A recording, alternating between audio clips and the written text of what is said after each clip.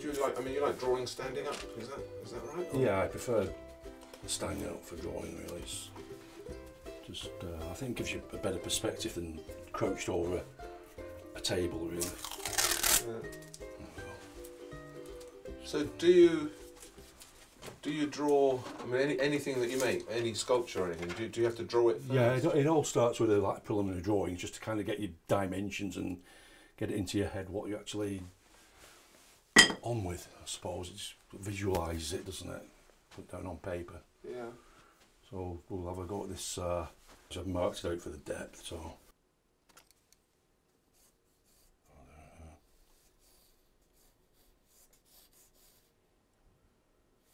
So presumably Gauguin, because you can't draw your own profile, can you?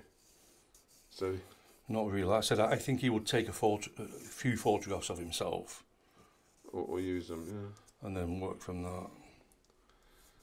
Do you know, I can always tell it's him because of the nose. You see that nose? Yeah, it's broken nose. Yeah, but it's also it's sort of hooked. Hmm.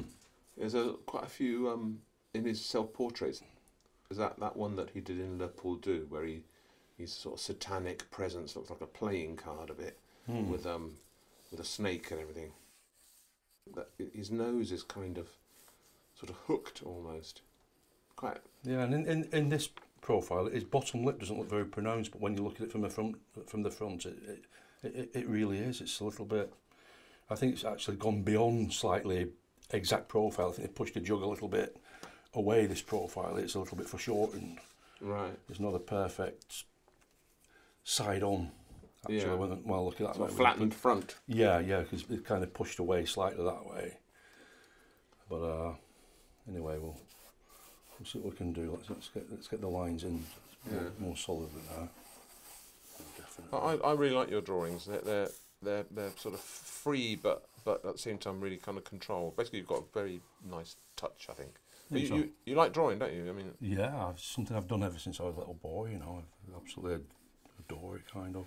yeah. You kind of just, your mind kind of just uh, what would you what, how would I describe it? Kind of disintegrates. Is probably the best way of saying it. Yeah, my mind's disintegrated many a time. Yeah. Yeah.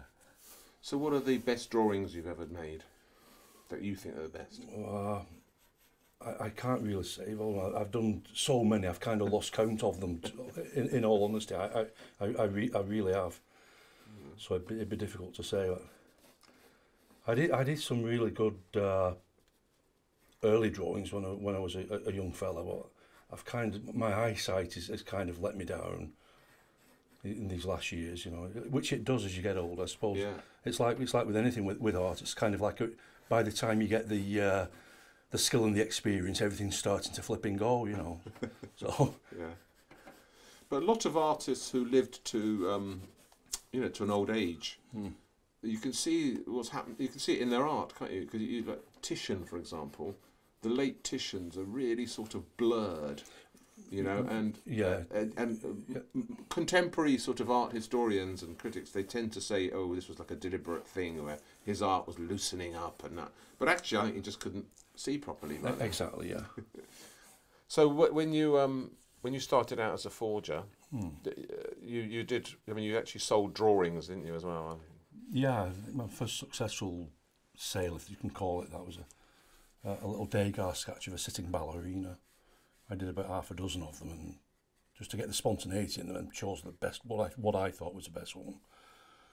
I hmm. took it in. I was very nervous at the time, and to sit there with the expert examining it and what have you. And anyway, to cut a long story short, he just it, he, he took it away and gave me a receipt for it, and it ended up as a the, the genuine article, and also something missing supposedly, a, a lost uh, a lost drawing. I just made it up, so I, I can I can't explain that one.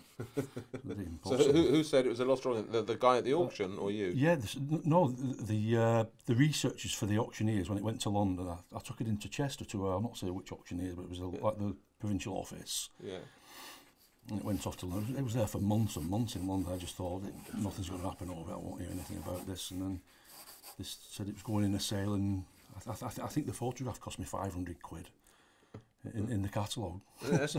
How much did it go for? Uh, a few thousand pounds, a, a, a lot of money from when I was a young fellow. Yeah. Over ten, I think it was over ten thousand. So do so. So how do you how do you do that then? Do you just do like one drawing, or do you practice for ages, or what, how does it work? Um, no, I'll, I'll, I'll kind of, I, I won't labour over them. I just get a few pieces of paper and whiz them off. Just have a look at stuff. You've got to go and see it really rather than just look in books. It's just not the same. Get it into your head and get the idea, like get the style, and then just whip, say, half a dozen off very quickly. And then when I've done the six, I'll like look back over them and choose probably one that I think is the best, that looks most, the mm. most like, spontaneous and in, in the hand, and then put that in hopefully. so you sort it- of learn the style of the artist, as it were. Yeah. And then yeah, try like- and do some like them. Yeah, exactly. Because every artist has kind of like signature marks in where- how they'll like probably put the eye in or whatever, and they all have that particular. And it's kind of identifying that, which is the the main thing in Forge, identifying what when someone looks at a picture, ah, that that looks like like such a body, as, you, as you'll do yourself. You can go, you, you train your eye to it, and uh, then just go for it, I suppose. But that's different from what you're doing here, right? Which is basically Oh yeah, th- this is preparing for. Yeah, this is sculpture. Just, yeah, it's just a, like a prep sketch. It's n- nothing to do with like they grow forging. It's just in my own average hand, I suppose. Uh, so just because you yeah, so just looking ahead. So you, when you finish this drawing, Hmm. what are, what's the next stage? Well, the next stage after this, I have to get some tracing paper, trace it off, and then put the tracing onto card, like two millimeter card or so. Cut the profile, mount that on my uh, sculpture wheel, and then get on with plastering the clay onto it. Right. So we've got to, that's, the, that's the next stage to trace it onto cardboard and cut out a cardboard profile, Okay. ready, ready for modelling. I'll do that next then.